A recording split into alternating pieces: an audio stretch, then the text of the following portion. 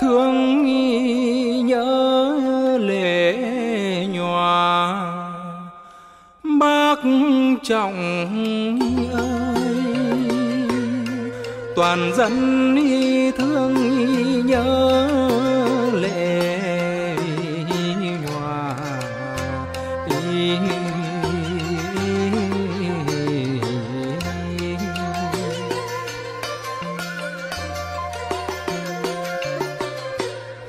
Người đảng viên tận chung với nước ơi ơi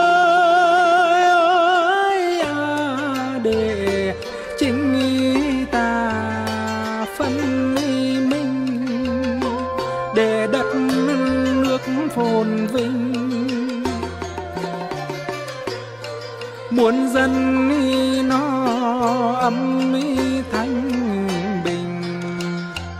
giết giặc nội xâm muốn dân nó ấm